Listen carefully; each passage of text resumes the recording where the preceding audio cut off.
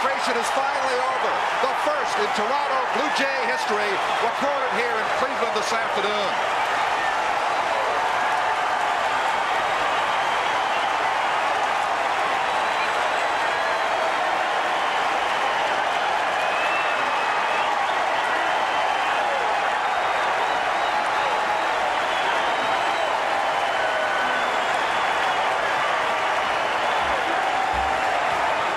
But Dave Stieb facing the last out of the inning. Yeah, Jerry Browne again high in the strike zone. Hit pretty hard. It was a line drive shot into right field, but it came virtually right at Junior Felix.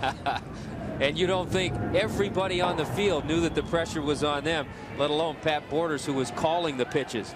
But again, to, to bring out the point that we were talking about earlier, there really wasn't a ball that was a questionable ball, one that maybe you could say might have been a base hit.